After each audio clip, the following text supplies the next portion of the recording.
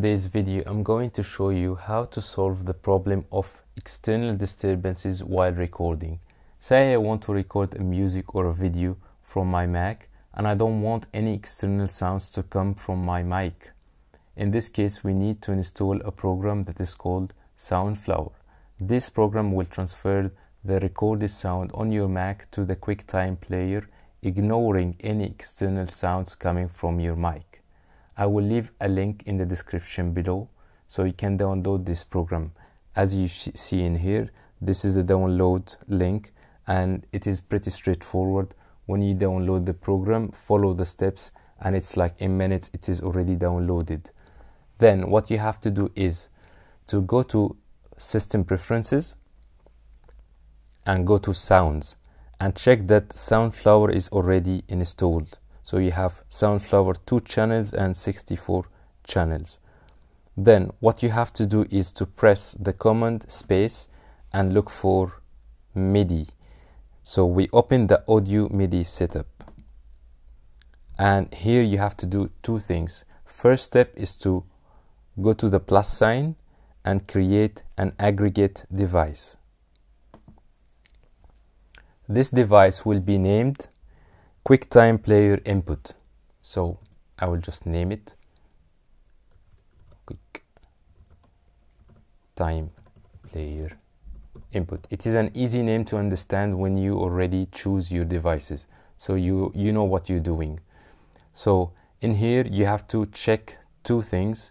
First is the built-in microphone and the Soundflower 2 channels right so make sure these are already checked and the built-in microphone is the clock source. Then you go second step is to press on the plus sign and create a multi-device output. Multi-device output I will rename it as screen record with audio.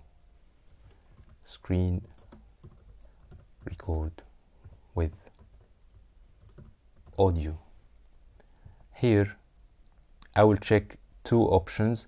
The first is the built-in output. The second is Soundflower, two channels. So make sure that these two options are already chosen and the master device is built-in output. Once, you, once you're done, this step is already okay.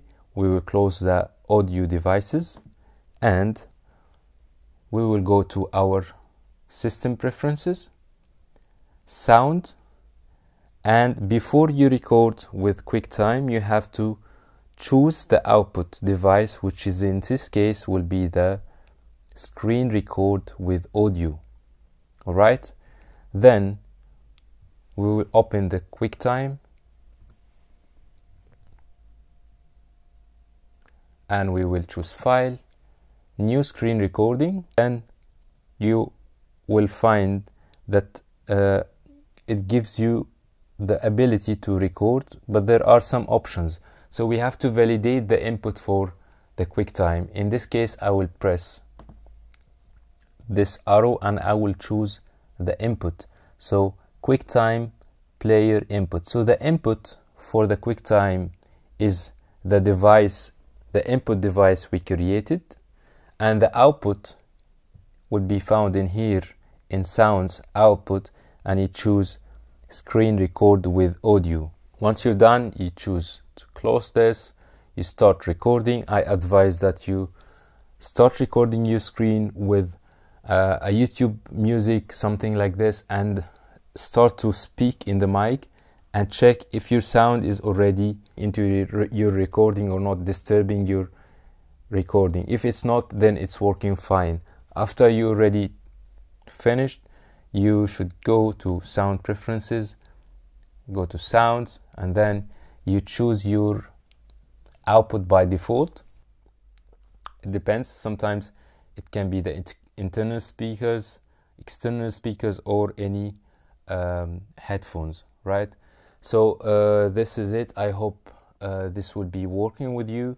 Uh, thank you for watching the video I will be counting on you for supporting the channel by subscribing. You will get any future content if you validate the bell and see you in the next video